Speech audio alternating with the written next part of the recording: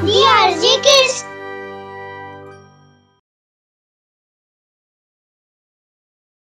गोष्ट चतुर ब्राह्मण.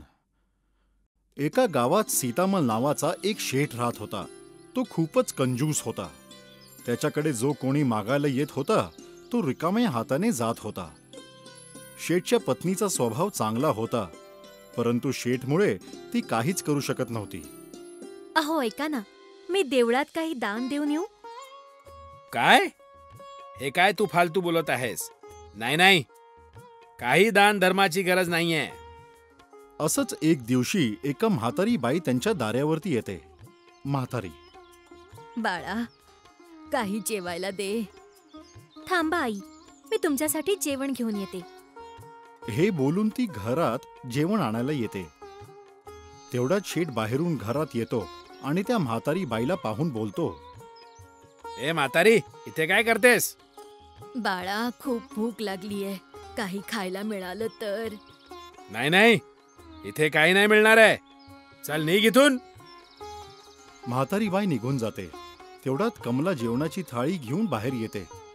शेठ हे पाहून तिला रागवतो अच्छा तर माझी पाठ फिरली की तू हे सगळं करतेस? मी जे काही कमावतो ते तू या भिकाऱ्यांवर उधळतेस. तुझी एवढी हिंमत नाही हो असं काही बोलू नका. ती म्हातारी आई खूपच भुकेली होती. त्यामुळे मी तिच्यासाठी जेवण आणलं. चल आता आज चल. कमला दुखी मनाने घरात येते परंतु शेठला काही फरक पडत नाही. अच्छा ऐक. मला उद्या शेजारच्या गावात एका कामासाठी जायचंय. यायला उशीर होईल. जर कोणी घरात मागायला आलं तर देऊ नकोस. दुसऱ्या दिवशी शेठ दुसऱ्या गावी जातो. त्याला परत यायला उशीर होतो. रात्र झाली आहे आणि जंगल पार करायचं होतं. शेठला खूपच भीती वाटते. अंधार आणि सुनसान जंगल तो देवाला प्रार्थना करतो. हे देवा हा घनदाट आणि निर्मनुष्य जंगल सुरक्षित पार केलं तर पाचशे ब्राह्मणांना भोजन देईन. माझी रक्षा कर देवा. एवढं बोलून त्याला थोडी हिंमत मिळते आणि तो पुढे चालू लागतो. जेव्हा थोडं जंगल पार करतो तेव्हा तो बोलतो पाचशे ब्राह्मण तर खूप जास्त झाले. एवढ्या लोकांना भोजन द्यायची काय गरज आहे? शंभर लोकांनाच भोजन खाऊ घालतो.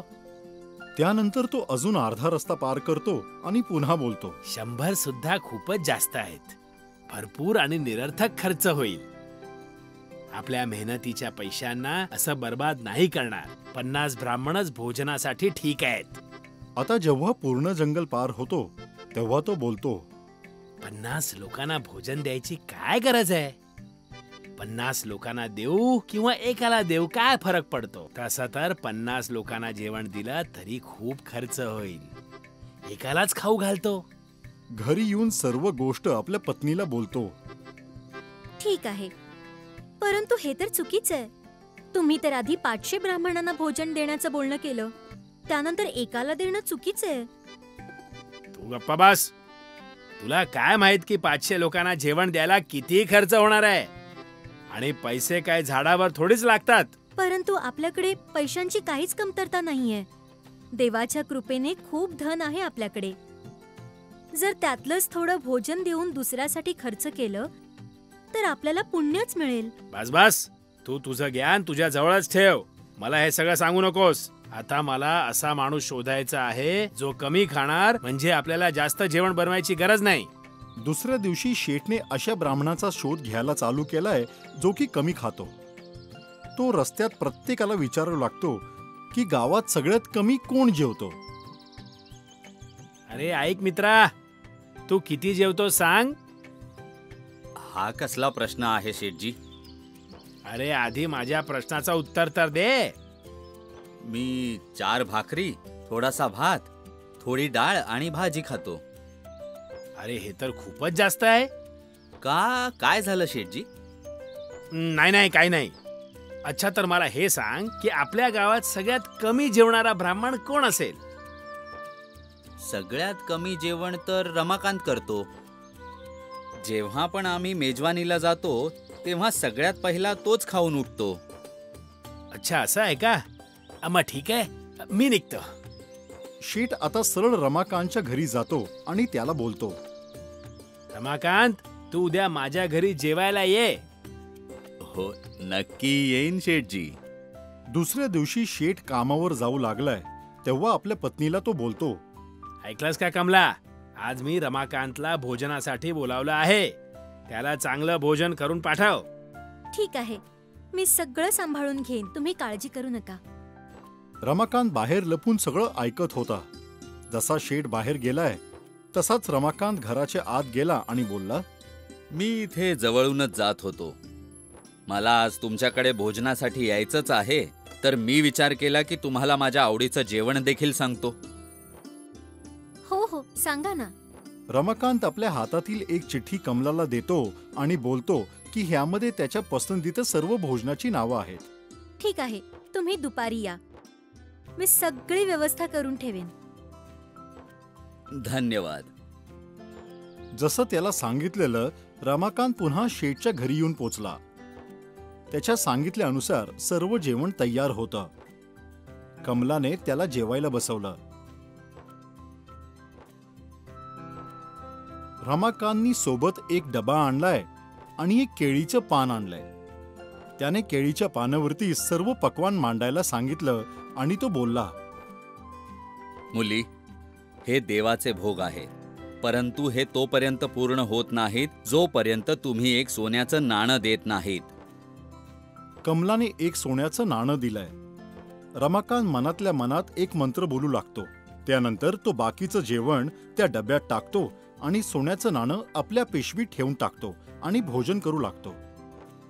तू माझा चांगलाच पाहुणचार केला आहेस परंतु ब्राह्मणाचा सत्कार तोपर्यंत पूर्ण होत नाही जोपर्यंत दक्षिणा म्हणून त्याला सोन्याचं नाणं दिलं जात नाही. कमलाने अजून एक सोन्याचं नाणं रमाकांतला दिलं.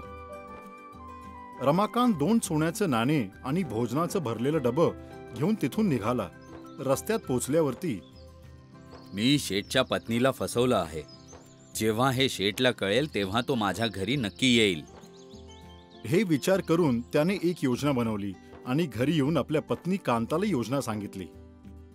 समजलीस ना? जसं मी सांगतो आहे तसंच कर. ठीक आहे. इकडे शेठला जसं माहीत झालं की रमाकांतने त्याला फसवलं आहे तर त्याला खूप राग आलाय. तो रमाकांतच्या घरी जाऊ लागला. परंतु जशा शेठ रमाकांतच्या घराबाहेर पोहोचला तो पाहतो की रमाकांतची पत्नी जोर जोरात रडत आहे. अरे देवा हे काय झालं? अचानक यांची तब्येत कशी काय बिघडली? कांता शेठला रागाने बोलू लागली. तू जेवायला बोलवलं होतंस ना माझ्या पतीला? काय खायला दिलंस? नक्कीच विष घातलं असणार. जेव्हापासून तुझ्या घरी जेवून आले आहेत तेव्हापासून बेशुद्ध पडलेत. हे ऐकून शेठ खूप घाबरला आहे. तो तर रमाकांत सोबत भांडायला आला होता परंतु इथे तर परिस्थिती उलटी झालीय तो म्हणाला काय झालं रमाकांतला? मी त्याला विष नाही दिलाय. जर विष नाही घातलंस तर मग असं कसं झालं? मी त्यांचे उपचार कसे करू? माझ्याकडे तर पैसे पण नाहीयेत. अरे ऐक ऐक. जरा रडणं बंद कर. मी तुला दहा सोन्याची नाणी अजून देतो ज्याच्याने तू रमाकांतचे उपचार करू शकशील. मी आत्ताच घरातून नाणी आणतो. हे बोलून तो लवकर घरी जाऊन दहा सोन्यांचे नाणे घेऊन येतो आणि कांताला देतो. हे घे. याच्याने रमाकांतचे उपचार कर. पण ही गोष्ट कोणाला सांगू नकोस. ठीक आहे. एवढं बोलून शेठ तिथून निघून जातो. तो जाताच रमाकांत उठून बसतो आणि तो बोलतो बघितलंस? कसा धडा शिकवला ह्याला. हा शेठ सगळ्यांना चुना लावतो. सगळ्यांकडून काम करून योग्य पैसे देखील देत नाही. आता समजलं की ब्राह्मणाशी हुशारी चालत नाही. इकडे शेठ घरी पोचल्यावर देवीला माफी मागतो आणि बोलतो हे देवा मला माफ कर. रमाकांतचा जीव वाचव. जर त्याला काय झालं तर मी संकटात सापडेन. आजपासून मी कोणासोबतही वाईट व्यवहार नाही करणार.